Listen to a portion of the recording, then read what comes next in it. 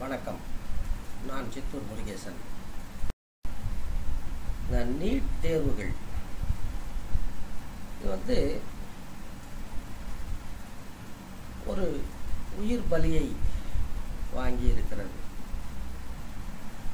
வந்து இந்த நீட் தேர்வுகள் ஏன் வந்தது? அதுக்கு பின்னாடி இருக்கக்கூடிய சதி என்ன? வந்து எல்லாருக்குமே தெரிஞ்சது தான் I don't want to repeat அரசியல் சாசனம். நம்ம அரசியல் சாசனம் எப்படி உருவாக்கப்பட்டது அப்படின்னு ஒரு ஜூரி இது பேசியிருந்தார். அதாவது உலகறிந்த சட்ட மேதை அண்ணல் அம்பேத்கர் தலைமையில் அரசியல் சாசன நிர்ணய சபை கூடி தயாரித்த அந்த அரசியல் சாசனம் வந்து அது ஒரிஜினல் கிடையாது. எல்லாம் வந்து பிரிட்டிஷ்கார வச்சுட்டு போனதை அப்படியே காப்பி அடிச்சு விட்டாங்க. அப்படின்னு சொல்லியிருந்தார். பெனாத்திருந்தார் பாரதியார் கூட சொல்லியிருக்காரு. சென்றிடுவீர் எட்டு திக்கும் புறர்ந்திங்கு சேர்ப்பீர் அப்படின்னு சொல்லியிருக்கார். வள்ளுவர் சொல்கிறார் எப்பொருள் யார் யார் வாய் கேட்பினும் அப்பொருள் மெய்ப்பொருள் காண்பது நாம் வந்து புதுசாக எதையும் உருவாக்க தேவையில்லை. ஏற்கனவே இருக்கிறதுல சரியான விஷயத்தை சூஸ் பண்ணிக்கிட்டால் போதும். சரி இப்போ வந்து அந்த ஜூரி சொன்னதை விட்டுருவோம். நாங்கள்லாம் வந்து சின்ன பசங்களாக இருக்கும்போது பரீட்சையில் கேள்வி வரும். அடிப்படை உரிமைகள் யாவை? அதாவது மொதல் உரிமை வந்து உயிர் வாழும் உரிமை. லேட்டஸ்ட்டாக வந்து இந்த தற்கொலை என்பது குற்றம் அல்ல அப்படின்னு ஒரு சட்டத்தை கொண்டு வந்திருக்காங்க. அதே போல் இந்த உயிர் வாழும் உரிமை. வந்து ஒரு நாட்டில் ஒரு குடிமகன் உயிர் வாழணும். உயிர் வாழணும்னா வந்து அதுக்கு சில குறைந்தபட்ச தேவைகள் இருக்குது அதாவது சுத்தமான காற்று சுத்தமான குடிநீர். அவனுக்கு குறைஞ்சபட்சம் ரெண்டு வேளையாவது சத்துள்ள உணவு. குடியிருக்க வீடு கூட வேணாம். புகுந்த குடிசை. அதே போல் கல்வி. மனிதனுக்கும் மிருகங்களுக்கும் இருக்கிற வித்தியாசமே வந்து கல்வி தான்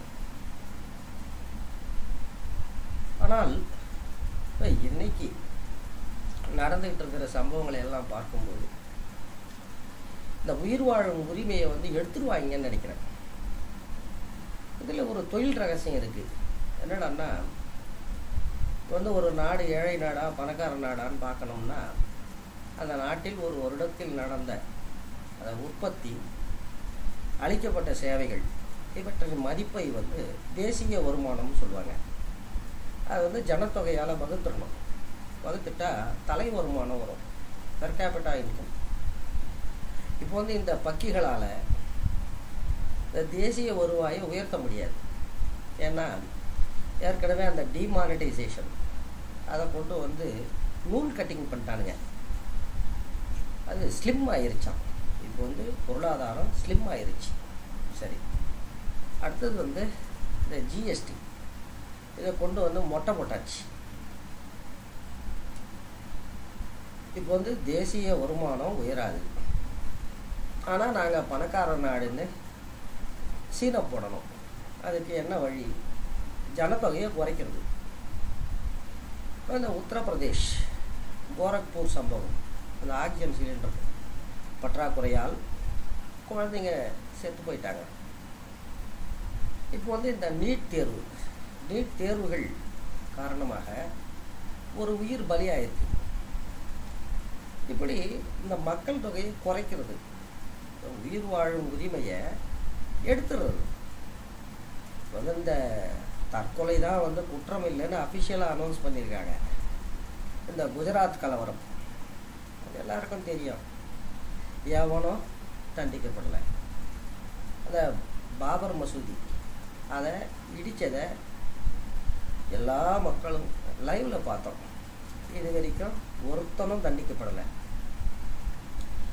அதாவது இனிமே கொஞ்சம் கொஞ்சமாக வந்து இந்த கொலையும் குற்றம் இல்லை அப்படின்னு மாற்றிடுவாங்க போல.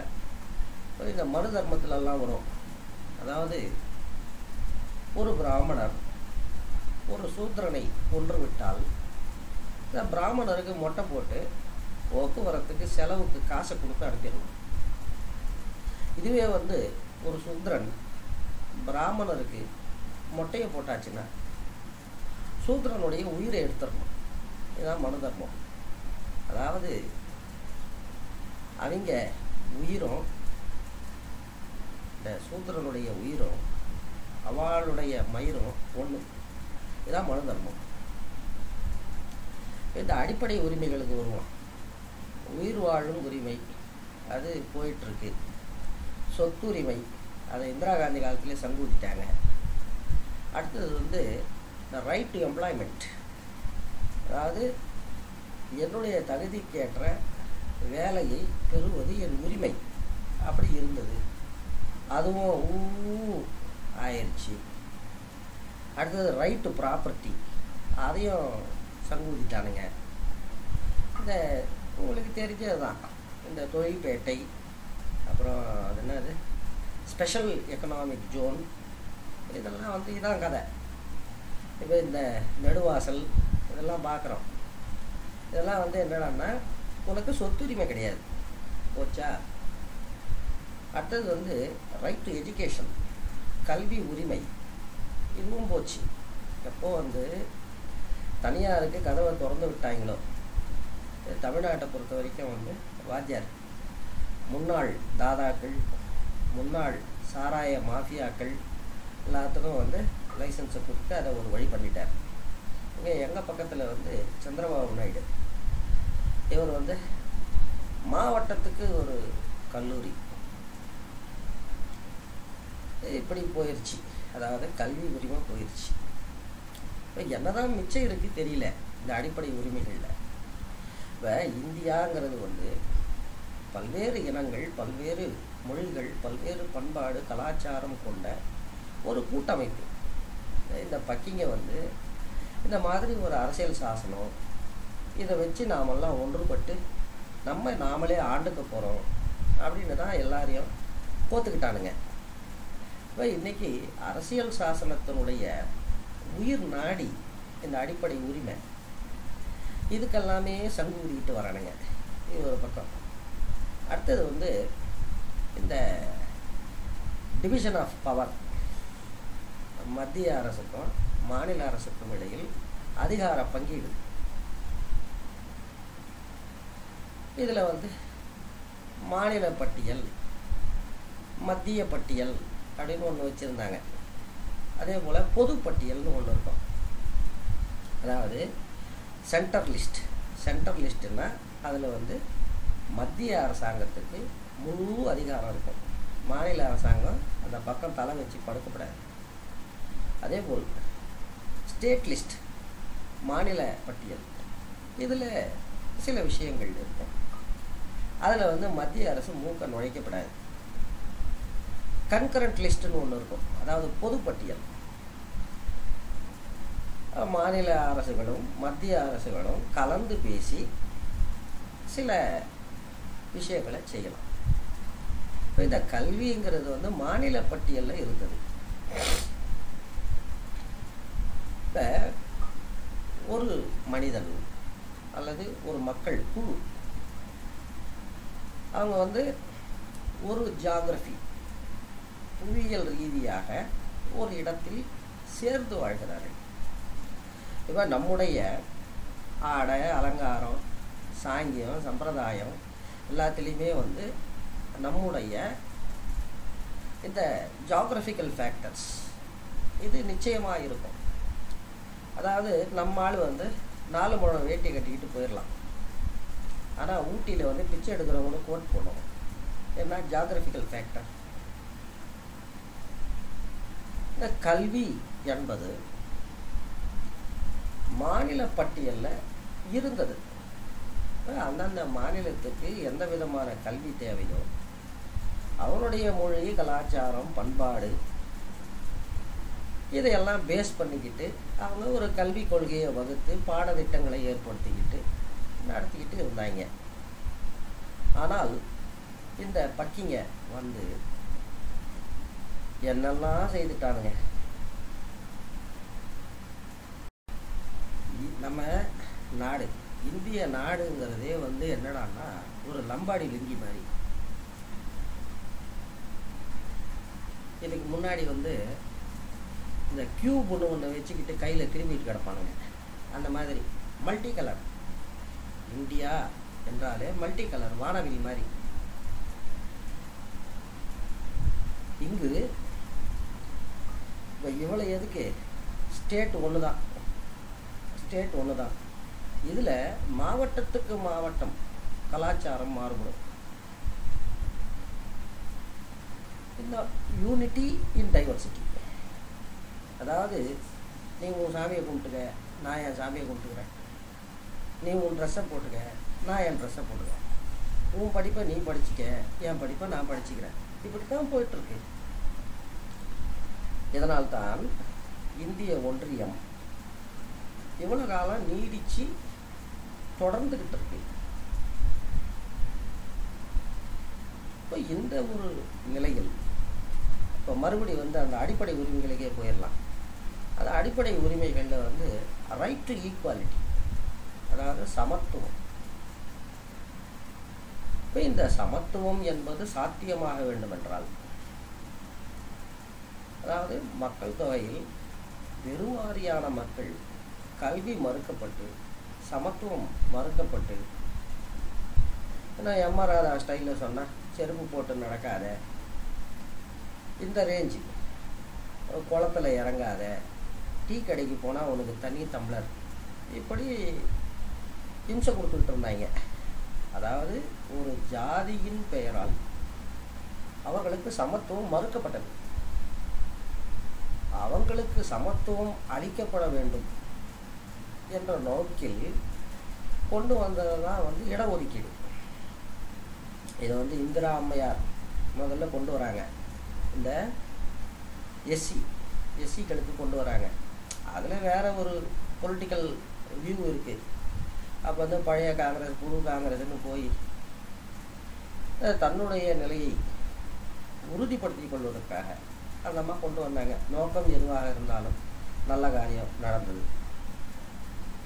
அதே போல் தமிழ்நாட்டில் வந்து நாம் வந்து பெரியாரை பற்றி பேசுகிறோம் பெரியாருக்கு முன்ன முன்னாடியே வந்து நிறைய பேர் இதெல்லாம் பேசியிருக்காங்க.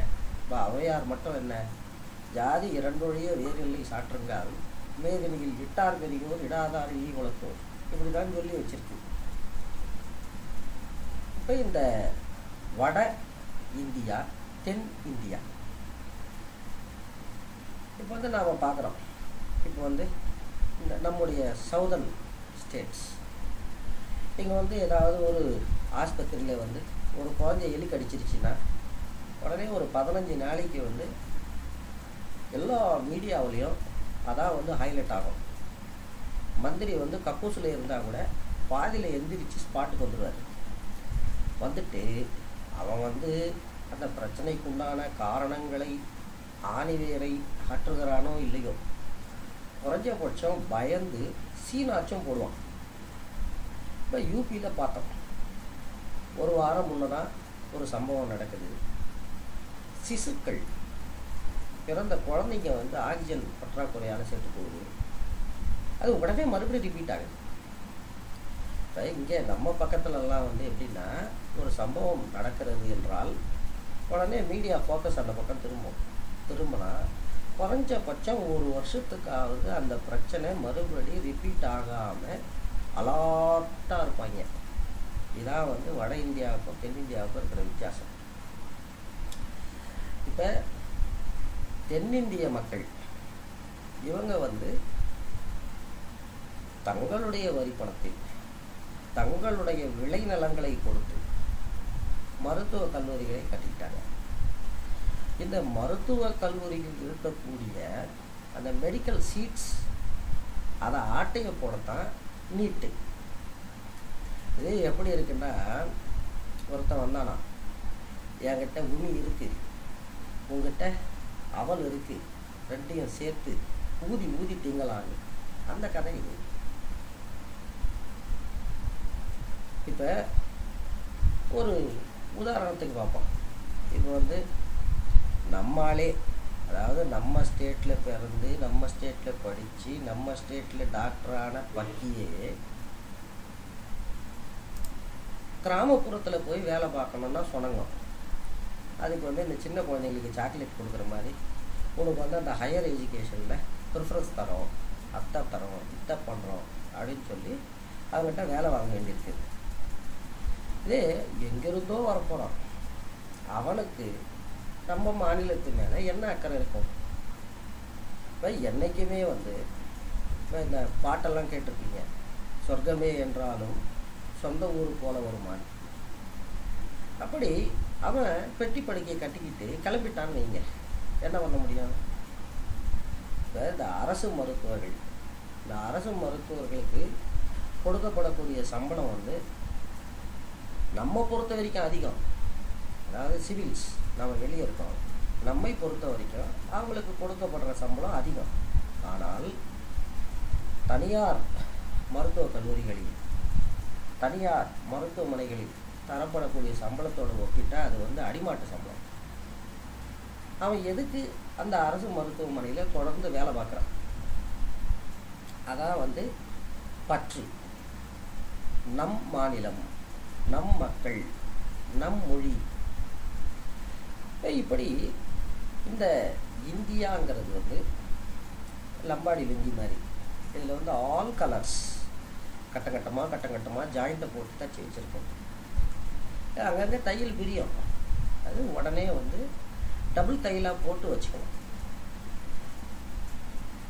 இப்போ இந்த மாதிரி ஒரே நாடு ஒரே மொழி ஒரே வரி அடங்கம் இந்த ஓஷோ சொல்கிற கதை தான் ஞாபகத்துக்கு வருது. ஒரு ராஜா வந்து தங்கத்தில் ஒரு கட்டில் செய்து வச்சுருந்தார். எந்த விருந்தினர் வந்தாலும் அந்த கட்டில் படுக்க வைப்பார். இதில் என்னடா சிக்கல்னா வந்தவன் வந்து அந்த கட்டிலினுடைய நீளத்துக்கு சரியாக இருக்கணும் அவன் பாடி. குட்டையாக இருந்தான்னு வைங்க. அரண்மனையில் இருக்கிற பயில்வானுங்கள்லாம் வந்து ரெண்டு பேர் கையை இழுப்பான் ரெண்டு பேர் காலை இழுப்பான். இல்லை அவன் கட்டில் நீளத்தை விட உயரமாக இருந்தான்னா அவன் காலையோ தலையோ வெட்டிவிடுவாங்க அந்த மாதிரி இருக்கு. அதாவது இந்த படைப்பில் ஒவ்வொரு மனிதனும் யூனிக் அதுக்காக ஒவ்வொருத்தனுக்கும் ஒரு ஒரு அரசியல் சாசனம் போட முடியாது. அதை நான் ஏற்றுக்கிறேன் குறைஞ்சபட்சம் மாநிலங்கள் நாம் ஏற்றுக்கிட்டோம் அரசியல் சாசனம் அதை ஏற்றுக்கிட்டு ஏதோ குப்பையை கொட்டிக்கிட்டு இருக்கோம். நிறைய கசப்புகள் இருக்குது தனி மாநில பிரிவினைகள் அந்த கோஷம் இருக்குது தனிநாடு கோரிக்கைகளே இருக்குது இப்போ நம்ம எங்கே ஆரம்பிக்கிறோம்? அரசியல் சாசனம். அது வந்து ஒரு அக்ரிமெண்ட் இப்போ ஒரு தனி மனிதன் வந்து பிரீச் ஆஃப் அக்ரிமெண்ட் பண்ணலாம். அப்படி பண்ணும்போது ஏதோ கோர்ட்டுக்கு போகிறோம் சிவில் கிரிமினல் ஆக்ஷன் எடுக்கிறோம். ஏதோ செய்கிறோம் ஒரு அரசாங்கம் வந்து பிரீச் ஆஃப் அக்ரிமெண்ட் செய்தால் அதை என்ன செய்ய முடியும்? இப்போ சரி அடுத்த தேர்தல் வருது. மக்கள் பொங்கி எழுவார்கள். அப்படின்னு நிறைய பேர் பேசுகிறாங்க ஏன்னா எனக்கு அதில் கூட நம்பிக்கை இல்லை. ஏன்னா இந்த இவிஎம் இவிஎம்மில் ஏதோ வித்தையை கற்றுட்டானுங்க இது அடுத்த தேர்தல்லையும் வந்து இதே மூடு முட்டி கவர்மெண்ட் தான் வரும் போல். இப்போ வந்து நாம் நம்ப வேண்டியது. அதாவது உங்களுக்கு நம்பிக்கை இருக்கோ இல்லையோ எனக்கு நம்பிக்கை இருக்குது அரசன் அன்று கொள்வான் தெய்வம் நின்று கொள்ளும். இதை வந்து இந்த பொலிட்டிக் ஜஸ்டிஸை தான் நம்பணும் போல. நன்றி வணக்கம். சித்தூரிலிருந்து முருகேசன்.